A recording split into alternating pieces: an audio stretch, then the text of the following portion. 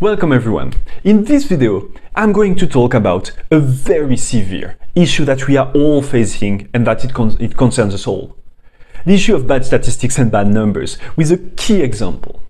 You might think that this issue concerns only uneducated people, which will be already a very severe issue, but actually it's not the case. Yesterday I was listening to a discussion on YouTube between an MIT professor in AI and um, a top professor from Stanford University in medicine. and at some point, one of the two said a sentence that I had to do this video. I had to share more and discuss about those issues with you using this very, very terrible example. Let's see that together.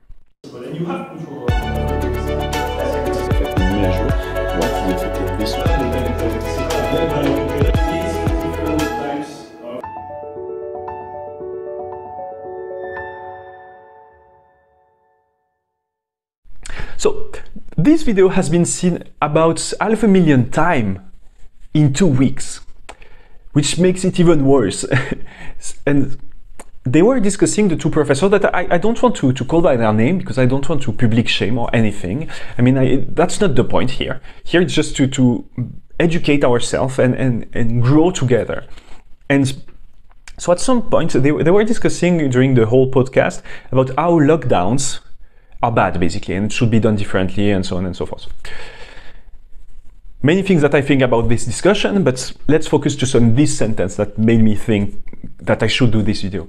Basically, at some point, the Stanford professor in, in, in medicine who has published in top journals in the world, really the best journal in the world, said the lockdown didn't stop the disease spreading anyway, using this as an argument that it's useless, so it's not working. Well, here there is something very problematic with this argument is that the person, the two person actually fail to understand that they miss the counterfactual. What will be the world without lockdowns to be able to assess the difference lockdown without lockdowns? And we worked for two years uh, with my team working exactly to compute this counterfactual and I, I, hope this paper will be soon published I will be able to, to share in more extensively the results of this research and prove with data and a statistical model how that this is wrong. But for the moment, just let's think in broader term about this issue. So counterfactual, which is necessary to, to compute the, the difference between two situations, the effect of something, will be, for example, let me take three very simple examples to illustrate that and how important it is. Let's say you want to assess the effect uh, of a drug on your headache. So basically you take uh, two, a group of people, you randomly assign some to a placebo and some to the dr new drug, and then you compare the effect of, uh, on the headache.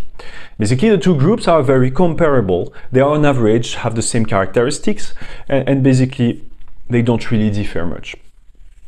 So then you can really see if there is a difference between the one without the drug, the placebo, and the one with the drugs with respect to the headache, you can really say that there is an effect, a causal effect, something is happening. But if you just give a drug to a group of people and you observe if they got better or, or, or worse, it's very hard to say what's the effect. Let me take another example. Let's say you look at the production of renewable energy. You look at the trend over the years worldwide, and you look at uh, greenhouse gas emission at the same time uh, over the years. There is a very clear positive correlation between the two. Does that mean that renewable energy production is useless or even it's worse because we see that it's, keep, it's still growing? Well, definitely not. There is no doubt about that. The thing is, if you think about, we should compute the counterfactual.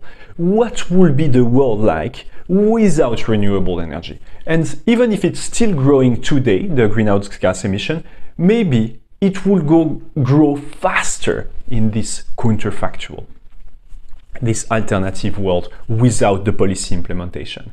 So let me give you a very similar and simple example. My brother, as you might know from other video, is was doing a peace negotiation in the world. So he was going deep in conflict zone to discuss uh, peace treaties with armed groups and governments.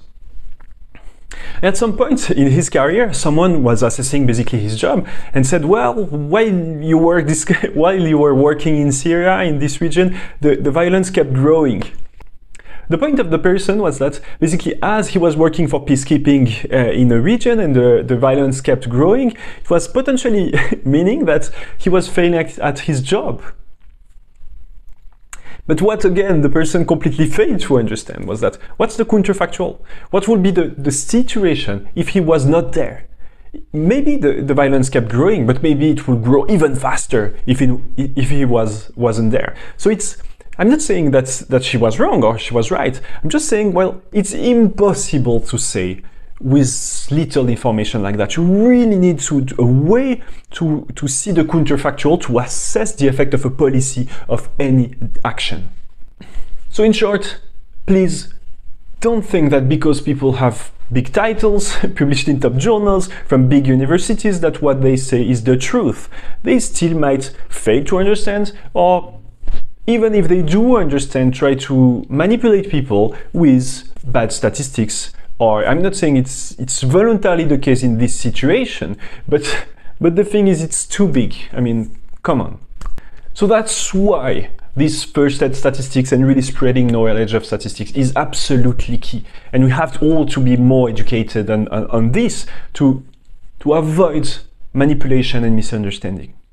So next time you hear something about is there an effect or not, really think can we compare with the counterfactual, with the alternative world without that?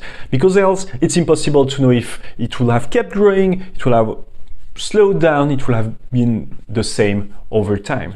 So if you want to discuss the rest of the, the discussion of the podcast, if you manage to find it, well, just comment below if you want to, to comment also and discuss what's in this video. Again, I will be really glad to discuss all of this with you in the comments below.